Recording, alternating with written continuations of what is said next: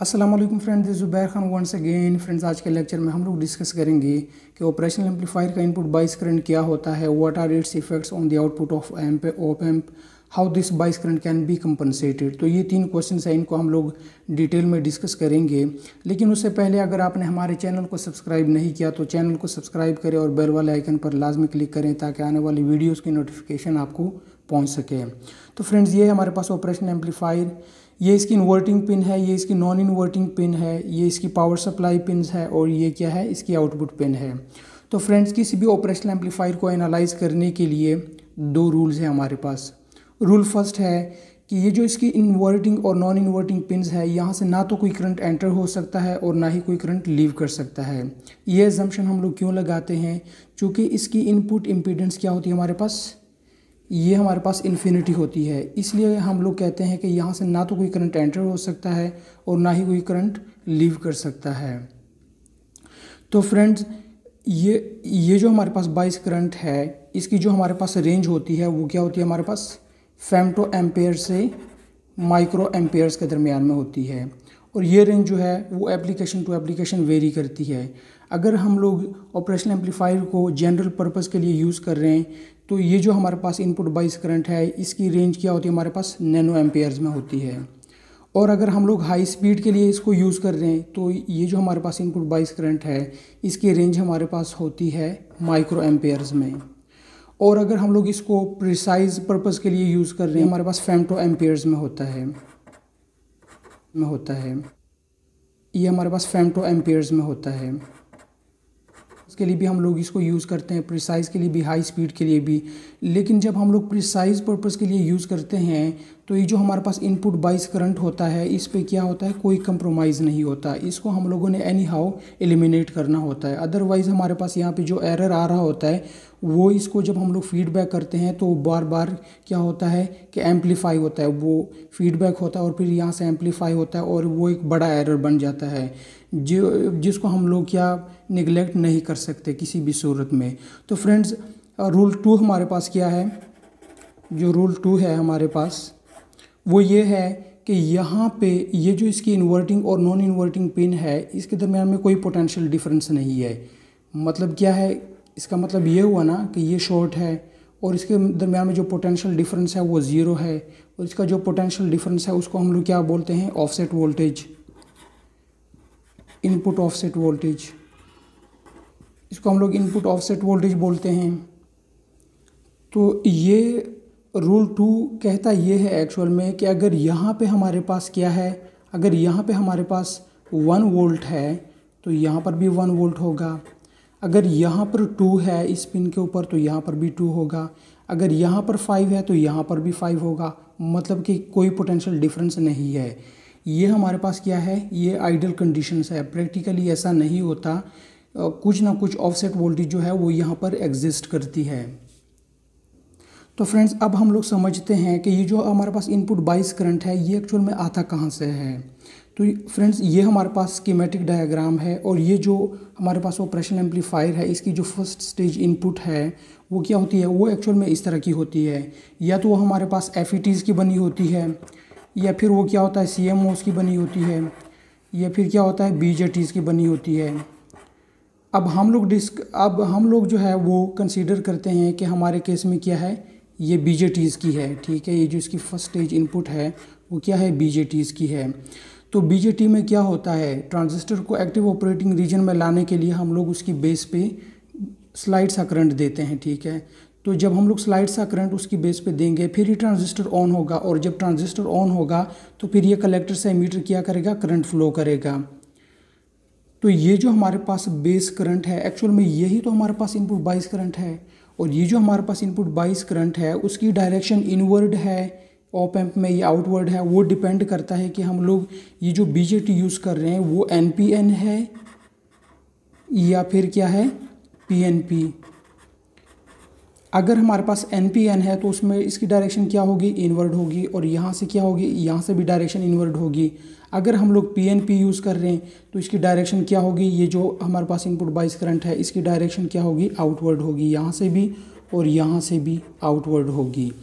तो फ्रेंड्स ये जो हमारे पास इनपुट बाइस करंट है, इसके इसका जो डिफरेंस है, उसको हम लोग क्या बोलते हैं? इनपुट ऑफसेट करंट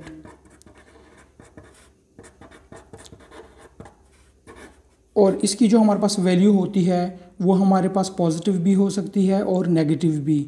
लेकिन हम लोग डेटा शीट के अकॉर्डिंग क्या लेते हैं? एब्सोलूट वैल्यू इसकी लेते हैं। और फ्रेंड्स हमारे पास जो डेटा शीट में इसकी एवरेज वैल्यू होती है इनपुट बाइस करंट की, वो क्या होती है?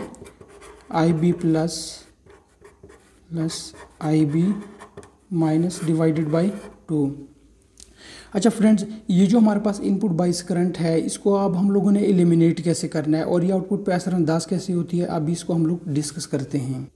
तो फ्रेंड्स अब हम लोगों ने देखना है कि ये जो बाइस करंट है, इसका आउटपुट के ऊपर क्या असर पड़ता है और इसको हम लोग कैसे एलिमिनेट कर सकते हैं। तो फ्रेंड्स ये हमारे पास ऑपरेशनल एम्पलीफायर है, ये इसको हम लोगों ने किया किया हुआ है नेगेटिव फीडबैक किया हुआ है। नेगेटिव फीडबैक में आल दो के हमारे पास जो ऑपरेशनल एम्पलीफायर का गेन है, वो क्या हो जाता है? इसका गेन कम हो जाता है। लेकिन क्या होता है कि हमारे पास इसमें ओसिलेशंस नहीं आती।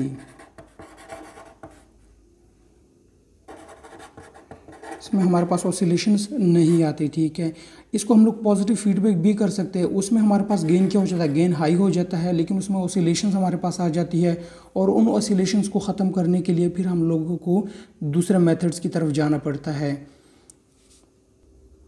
अच्छा फ्रेंड्स ये जो हमारे पास ऑपरेशनल एम्पलीफायर है, इसकी जो हमारे पास नॉन इन्वर्टिंग पिन है, उसको हम लोगों ने ग्राउंड किया हुआ है। जब हम लोगों ने इस पिन को ग्राउंड कर लिया तो इसका मतलब है कि यहाँ पर जो वोल्टेज है, वो क्या है? यहाँ पर जो वोल्टेज है, उसको हम लोग वी वन बोल देते हैं। वो क्या हमारे पास ज़ीरो है? तो अगर यहाँ पर ज़ीरो है तो according to rule number two हमारे पास ये जो इसकी पिन है, यहाँ पर भी वोल्टेज को क्या हो जाना चाहिए? ज़ीरो हो जाना चाहिए। और इस वोल्टेज को हम लोग क्या नाम देंगे? इसको भी हम लोग वी वन दे देंगे। तो अगर यहाँ पर वोल्टेज ज़ीरो है तो इसका मतलब है कि ना तो यहाँ से कोई करंट फ्लो हो रहा है, ना यहाँ से कोई करंट फ्लो हो रहा है।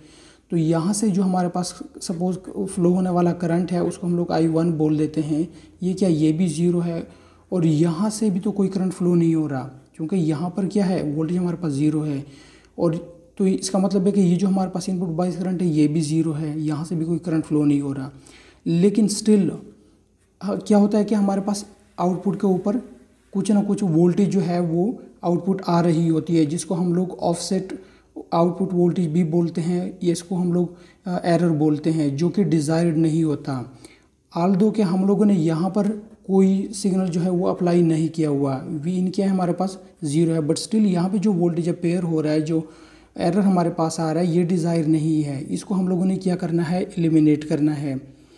तो इसको एलिमिनेट करने के लिए हम लोग क्या करते हैं कि यहाँ पर जो है वो एक रजिस्टर लगा लेते हैं। उसको हम लोग नाम दे देते हैं आर सी तो फ्रेंड्स क्या होता है कि ये जो यहाँ पर जो हमारे पास करंट आ रहा होता है एक्चुअल में, वो क्या होता है? ये जो हमारे पास हम लोगों ने जो पिछला डिस्कस किया था कि इनपुट बाइस करंट जो है वो बी के केस में कि एक्चुअल में वो हमारे पास वहाँ से आ रहा होता है। तो ये जो हमारे पास करंट है, वो यहाँ से आ रहा होता है और यहाँ पर जो इसकी वजह से पोटेंशियल ड्रॉप होता है, वो हमारे पास यहाँ पर अपेयर हो रहा होता है। तो ये जो हमारे पास करंट है, ये एक्चुअल में क्या करता है? ये यहाँ से फीडबैक होता है और फिर यहाँ पर आता है एम्पलीफाई होता है। इसी तरह से ये फीडबैक होता है। तो इसको जो है एनी हाउ हम लोगों ने एलिमिनेट करना है। ये इसकी वैल्यू तो कम होती है, लेकिन क्या होता है कि फीडबैक में ये बार बार एक बड़ी अमाउंट इसकी बन जाती है। तो इसको हम लोगों ने एलिमिनेट करना है और इसके लिए हम लोग क्या कर रहे हैं? ये आर से ही रजिस्टर लगा रहे हैं। तो ये जो हमारे पास करंट है, इसको हम लोग सपोज़ बोल देते हैं आई टू ये इसको हम लोगों ने आई वन बोल दिया। तो अब क्या करते हैं? ये जो हम लोगों ने आर सी रजिस्टर है कंपनसेशन रजिस्टर इसकी कुछ ना कुछ वैल्यू तो होगी। वो वैल्यू क्या है, उसके लिए हम लोग एक्सप्रेशन डिराइव करते हैं। अब क्या करते हैं फ्रेंड्स हम लोग यहाँ पर ये जो इसकी नोड है, यहाँ पर हम लोग के अप्लाई करते हैं।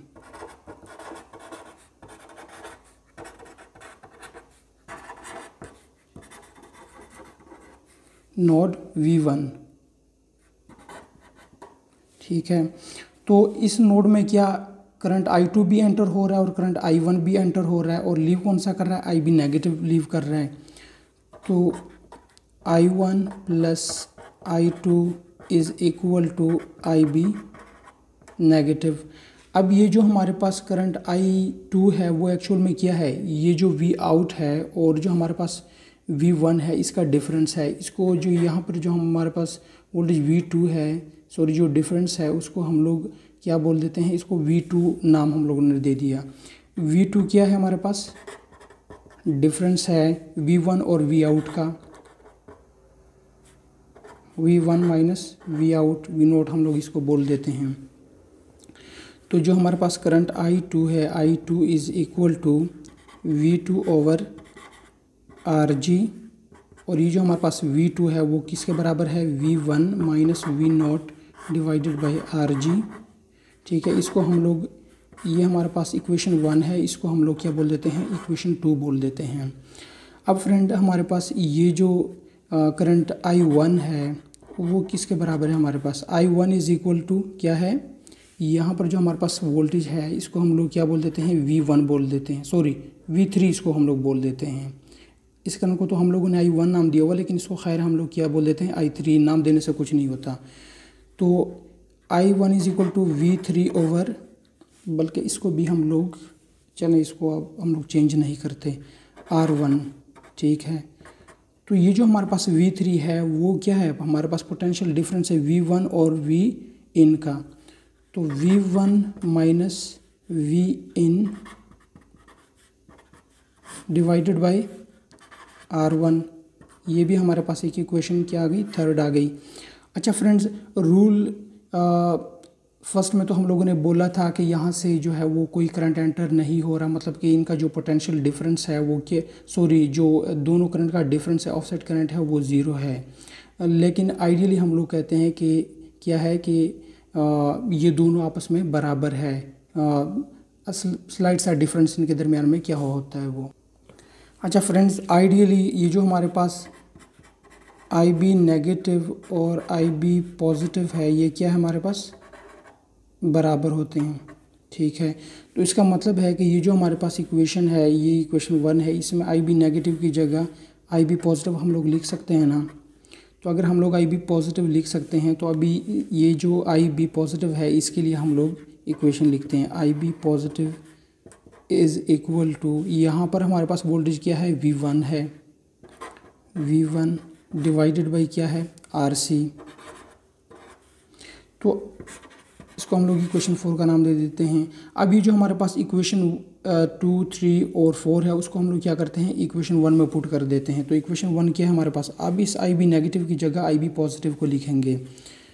तो इक्वेशन इसमें हम लोग जब इन वैल्यूज़ को पुट करेंगे तो आई वन की जगह क्या आएगा? V one minus V in divided by R one plus इसकी वैल्यू क्या हमारे पास? V one minus V nought divided by R G is equal to ये जो आई बी पॉजिटिव है, इसकी जगह हम लोगों ने पुट किया, इसकी वैल्यू क्या है? V one divided by R C अच्छा फ्रेंड्स हमें तो पता है कि इस वी इन की वैल्यू क्या है? ज़ीरो है हमारे पास। और कंपनसेशन के लिए हम लोग क्या करते हैं कि इस वी आउट को ज़ीरो कर देते हैं, क्योंकि हमें इसको क्या करना है? एलिमिनेट करना है। यहाँ पे जो ऑफसेट एरर है, उसको हम लोगों ने किसके इक्वल रखना है? V out should be equal to zero तो इन, ये जो हमारे पास इस वैल्यू को इसी इक्वेशन में पुट करेंगे तो क्या आएगा हमारे पास? This will imply V one चूँकि ये भी हमारे पास ज़ीरो है। कोई इनपुट सिग्नल अप्लाई हम लोगों ने नहीं किया हुआ।